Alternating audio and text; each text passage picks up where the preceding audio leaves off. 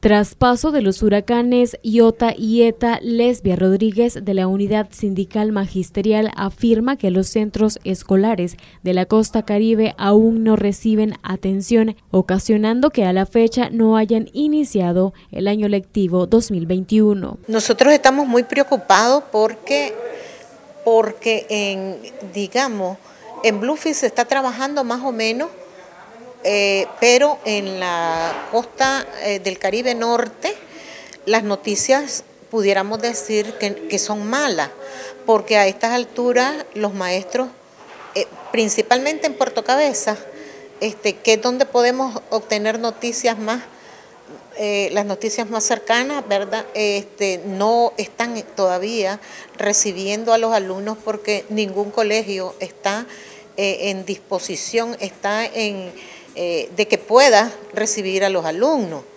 Los maestros están llegando a las escuelas porque están obligados a llegar, pero no así los alumnos. Las escuelas están malas, no las han reparado. Los que están activos ahorita y están trabajando son los colegios eh, privados. Los colegios privados están trabajando, pero ninguno del, del, Estado, ningún colegio público está trabajando. Y si Puerto, que digamos, no fue tanto eh, el debate que hubo como en el interior, este, como estarán los otros, pues. Rodríguez agrega que no tienen información si efectivamente se han colocado aulas prefabricadas en las zonas afectadas. Es que no las hemos visto, nosotros no hemos visto.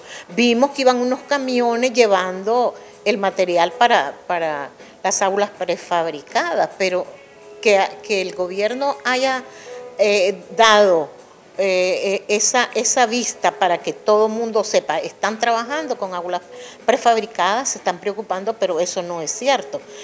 Eh, como decimos, eh, a los periodistas, a los comunicadores les impiden llegar, entrar a las aulas, a los centros escolares. ¿Por qué les impiden? Para Noticias 12, Anduriña Ortiz.